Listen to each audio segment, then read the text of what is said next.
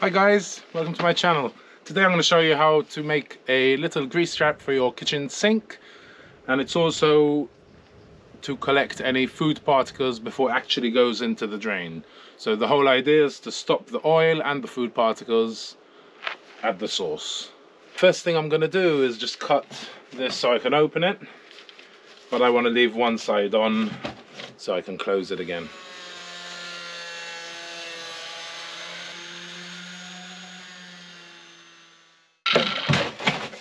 Go. Just get rid of all this plasticky stuff.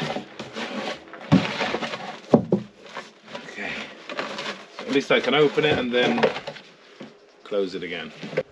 The water's going to come from here. Yeah? This is going to be like this. So then every day I can just take out the food particles at the source. So this is just a 125 millimeter pipe, reduced to 90, reduced to 50, which is the thickness of that. And this should be quite a tight fit. Yeah, it should be able to get it in there. So that's the intake. I'm hoping this video will help you to do this with whatever container you have just so for the hole just make sure that it's totally flat because otherwise it'll leak like you wouldn't want to put it here obviously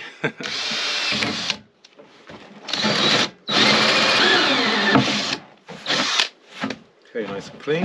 Make sure you get any pieces of plastic out just so it doesn't disrupt the rubber that you're going to put in. So now this can go in there. Yeah. In there. Tighten this up.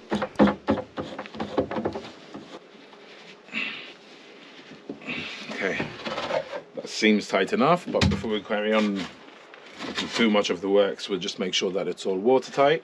Now over here, all I have is the connector to go with that, so it's a screw, and then the rest is just normal piping, which I've PVC'd glued together. So I've got a uh, 90 bend, 90 bend, 90 bend. Now, so that's going there. Okay. What you have to be careful of is this piece of pipe here. So you want the water level to be about there.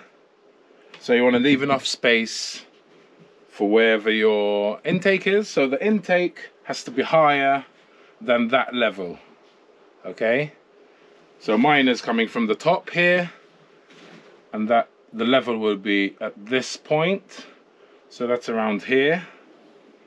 So there's plenty of place for it to come in and, and then come out of there. So if you have the intake from here, just make sure that this level is lower than the intake. Okay, so now to put this in here.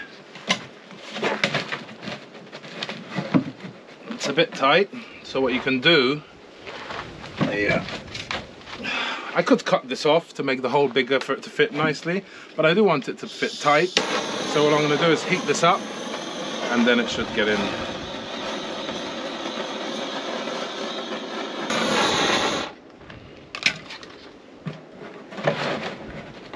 So now we can fill it up.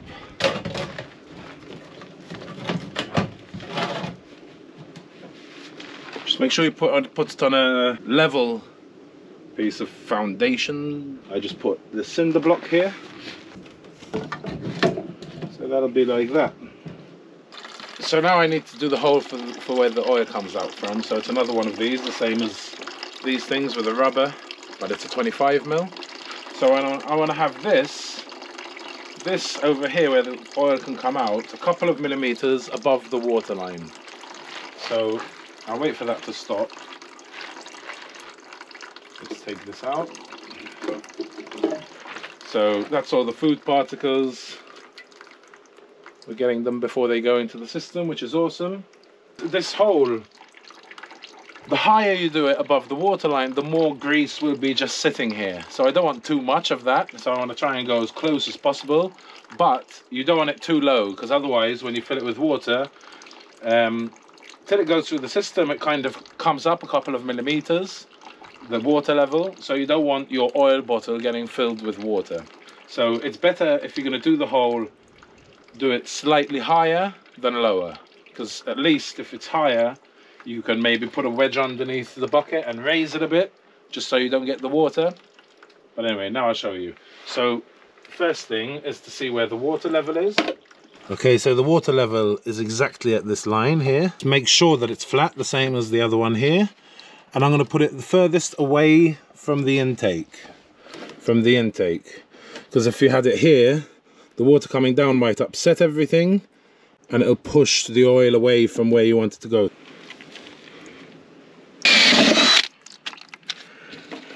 It's maybe three millimeters above the waterline.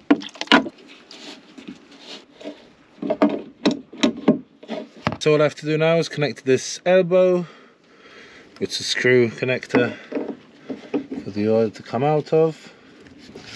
Okay, so all that's left now that I have this connected for the oil, which should skim off the top, is to see is when I run the tap, because the water does rise slightly when you're when it's filling, if any water comes into this bottle. Now if it does, it's not a big deal. You can adjust this by using some wedges and just raising whichever side you need to, depending where you put the hole for it to stop. So then as soon as the water stops, you know that the water, the oil that's sitting on top when it will have oil eventually, and um, will be able to float off into the, through down this pipe. So let's open the tap. Okay, it started to come out of here. Let's see where the water line is. It's right on the edge, which is perfect. I don't want too much oils permanently sitting on the water there. There's a couple of drops of water, so I think I'll just, like I told you, put a couple of wedges. Now if I raise this side, the water level is to go down because this is to go down. So that should limit the amount of little drops of water that should come out. Let's see.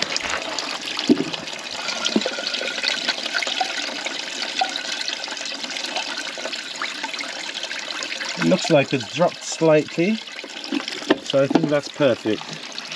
Alrighty, so now that I know that it's all watertight, it's all hooked up there, and there's no water coming into my oil container, it should work. So I can basically set the end of the of the pipe to go into the veggie garden. So I'm going to do that now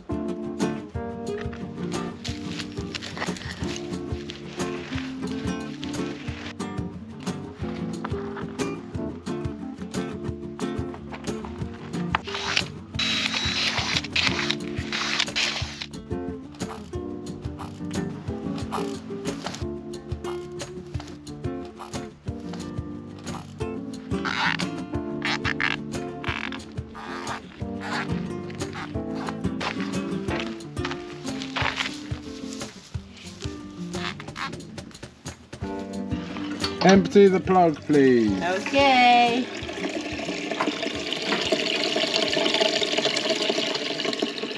And you can see the water level here.